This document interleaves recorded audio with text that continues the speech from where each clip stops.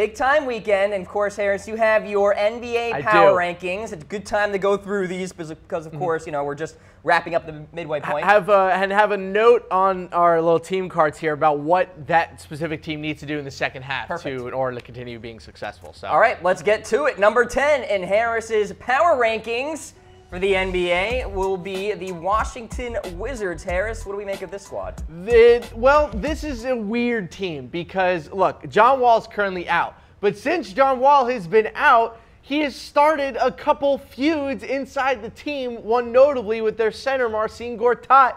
They had to have like a private meeting. There was all these problems with that that he thought that Gortat was talking smack and that John Wall was saying that he doesn't do anything. Like this is the last thing that this team needs is locker room problems coming from the franchise player and John Wall. Look, just stop, stop. Like just relax. Like you have a decent team. You're gonna go to the playoffs. There's no need for for inner team fighting.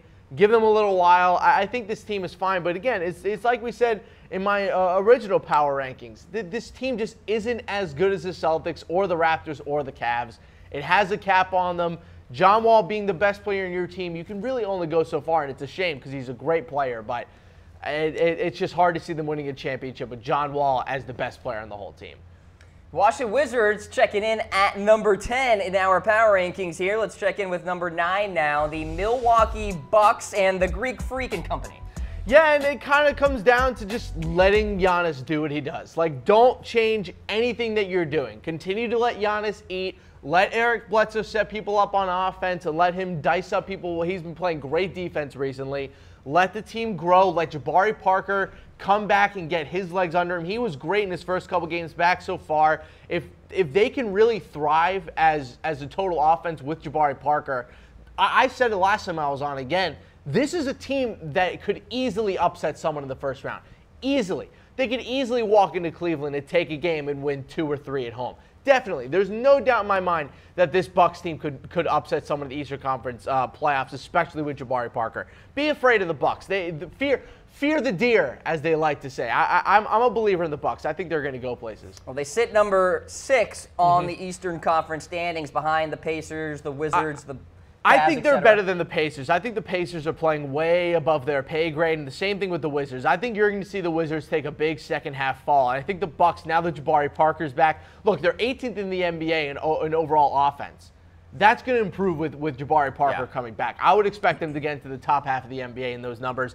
They've been playing great basketball since Jabari Parker's come back. I want to say that they've won like seven of the last 10 or so. So wa- wa- watch, watch out for the Bucks. So you could see them kind of being a disruptor Yes, type of team in the absolutely. playoffs. Th- th- This you should, if you are any, for instance, let's say they go, let's say uh, Gordon Hayward doesn't go back from the Celtics and they have to play the Bucks in the first round.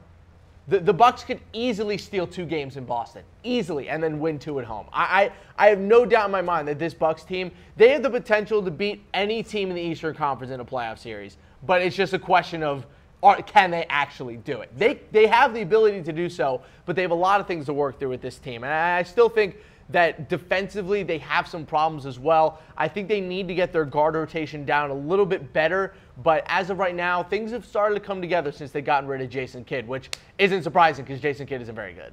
So there are the Milwaukee Bucks at number nine. Number eight now, the Oh. Oklahoma City Thunder. Yeah, and here we go. So I can already tell you what's going to happen with this team, Cam.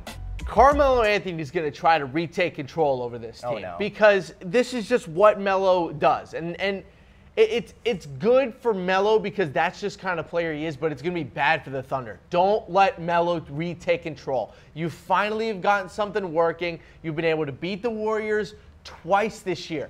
Don't change anything. If they're gonna do, if they're gonna win anything this year with this roster, it's gonna run through Paul George and Russell Westbrook. It's not gonna run through Carmelo Anthony. Let him be your super shooter off the bench. He's been playing great basketball recently. Just if I had another thing for the Thunder, like I just said, don't change anything. This is how you're going to win. They have shown that they can easily, not easily, excuse me, they've shown the best possible ability to beat the Warriors over any other Western Conference team so far. Don't change anything. Don't change anything. Don't change anything. Keep playing the ba- brand of basketball you are. I don't care where they are in the standings. They're going to be a force in the playoffs. Are you hearing things? Are you reading things that suggest that perhaps Melo wants to have a bigger role? I, I'm saying this is that we started off with the first half of this season, or at least the first half of the, of the you know, first half of the season, that Melo wanted to be the number two guy on this team over Paul George. LOL. And then exactly, and then the second half, he kind of filtered into his more super shooter bench role. But if they start losing games, Melo's going to try to take it on to himself to bring the team back. And that's not a that's not a diss on Melo. He's still a great player, and it's good for him that he wants to do that. But this is Russell Westbrook's team. This is Paul George's. He is Paul George's Batman to his Robin. You know, at this point, Melo, you're Alfred. Be Alfred if we're sticking with the Batman Robin, you know, whole thing. Fair. Stay with that. All right. So maybe we'll have another Marvel. Uh, Yeah, I'll, I'll, come, I'll come up with more later in the superhero references. I'll keep going with it. Oklahoma City Thunder at number eight. Let's take a look at number seven in the power rankings. Here, the Cleveland Cavaliers. And Harris, I'm saying it right here, right now. I think that trade deadline did wonders for them. It, it did do wonders, but I, look, they still don't play defense. I, I'm sorry. Look, they can score again. Great. The offense looks like it's working. Like, great. The reason that, look, the problem wasn't the players in the first half. The problem was they had no chemistry because they filtered the roster 20 times. So Yep. blame the front office on that. And then also blame the coaching staff because Tyronn Lue is a terrible coach. So they get they bring in all these young players and they filter in and out of the roster. What there is right now is just LeBron is re-engaged. That's all that's happened. It hasn't these new players that they brought in aren't necessarily better than the guys they used to have. But LeBron is like back. Exactly. He's just trying again. That's what's so wild about this. The, the, the overall team, to me, hasn't changed. The amount of chemistry hasn't changed. There's still no chemistry on this entire team. The coaching staff is still terrible. The starters still don't play defense. The only thing that has changed is that LeBron James is trying again, which is every, which is the most important thing that they, that could have come from the trade deadline for the Cavs. But if the starters still don't play defense, if if the bench still has problems, they're going to get roasted by the Raptors in the playoffs, hmm. which I can't believe I'm actually saying. It all revolves around what can they do on defense. They're still terrible. They still have one of the worst net ratings in the entire NBA. Until they can prove that they can play defense, I'm not putting them in the top five. I'm not doing it. So the Cleveland Cavaliers are at number seven. We'll talk about LeBron later and Yeah. where he could be headed in 2018 in mm-hmm. the offseason. Let's take a look at number six in our power rankings now. The Minnesota Timberwolves. Harris, you said they needed the All Star break, so what do we need to look ahead to? Use the bench. Oh my God, use the bench. Please, Tom Thibodeau, use your bench. You have Car- you have all these great starters and Karl-Anthony Towns and Jimmy Butler and Wiggins, but it was so apparent heading into the All Star break that they were all exhausted and dead tired. I'm not saying that Jimmy Butler missed the All Star game because he was sick, because maybe he's overtired, but Jimmy Butler might have gotten sick because he's uh, completely overworked as a person. Like, just please use the bench, Tom Thibodeau. Please rest your starters. Save them for the playoffs. You're already going to make the playoffs. There's no need for you to grind your way through the regular season. You're going to end up as a top five seed. You're going to end up with some sort of home field, home court advantage in the playoffs. Use your bench, please. Please. Tyus Jones has been fantastic this year. So they have the depth. Right? Use your players. It's insane. I've never seen any. Well, actually, no. I have seen something like this. It was when Tom Thibodeau was the head coach of the Bulls. Use your bench.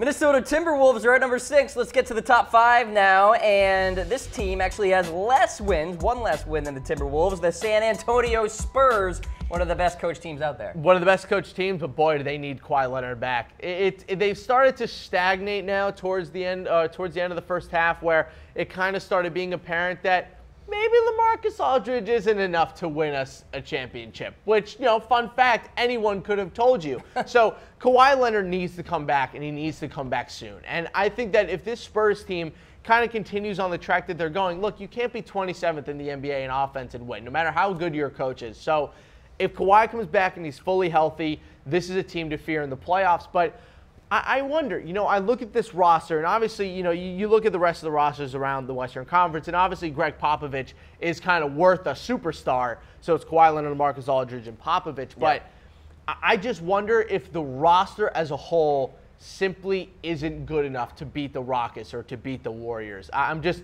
I'm a little worried that this might be the year where coaching just isn't enough. Well, they've lost their last three, Harris. Yeah, so, I I'm, mean, I'm getting going worried. into the break. I'm, I'm worried and about now it. they got to reset a little bit, see what they can do. So the Spurs are at number five in our power rankings. Let's go to number four now. The Boston Celtics, a team you know very well, Harris. Oh, what do God. they need to do? They need to start praying that Gordon Hayward returns this season because that is the only way they are going to make it to the finals. It, look, it, it they've been playing great basketball all year, but look, they ran out of steam towards the end of the first half. They were grinding, absolutely grinding their way on defense, but over the overall exhaustion of the team has been absolutely apparent to me. So, look, they've gone down to a lot of teams, you know, 20 points plus. They actually lead the NBA in wins when they're down by 17 plus points. They have like eight or nine wins this year when they're down by that many points. But the problem is, is that they'll go up against these teams, they'll play good defense, but the offense isn't there to match. So they'll fall behind 10, 11, 12 points by the middle of the second quarter, and you can only come back and win so many of those games. That's where they need Gordon Hayward. That's where they need someone on offense to step up. Jayson Tatum is a fantastic rookie. Jaylen Brown has made huge strides, but these are still first and second year players going against the Cleveland Cavaliers, going against the Toronto Raptors, who whose first and se- whose second and third options on offense are not rookie or sophomore players. So they need to continue to move the ball on offense. They need need Gordon Hayward to come back, and it'll also strengthen that second unit, which at this point just has not been able to get the job done. What's the offense. latest on Hayward? What are you hearing? The latest on Gordon Hayward is that look, he is shooting, he is rehabbing, he is fine.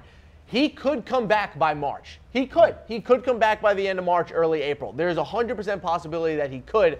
And to be totally honest, they haven't put him on injured reserve or they haven't shut him down for the whole season. So he could, in theory, come back for the playoffs. It's really just a question at this point if the Celtics want him to come back, which they probably will. I, I think you're going to see him out there. And also, Kyrie Irving actually said some very nice things about Gordon Hayward during the All Star break, saying that he misses him a lot, that he can't wait to have him back, uh, about there, back out there on the court. I know he can only obviously say that, but uh, it, it will be great to see Gordon Hayward back in the court soon. Celtics are at number four. Number three now, the Toronto Raptors. Yeah, This man. is weird to see. It is weird to see, but man, they've been playing amazing basketball. The new brand of basketball that they've been playing is absolutely spectacular. I love your note, by the way. Change, change nothing. nothing. Keep doing exactly what you're doing. Dwane Casey is putting up a fantastic season as their head coach. He has been the, the whole team has been stellar. Kyle Lowry's been been not great statistically, but as an overall leader to the team, he's been better. Uh, you know, uh, DeMar DeRozan is putting up a career season. He should be a dark horse MVP candidate, to be totally honest. He's been fantastic. OG Anunoby has been great on both sides of the ball as their star rookie. Look, this Raptors team needs to be feared in the playoffs. But I will say this, and I said this last time I was on the Cam show I don't care what they do in the regular season.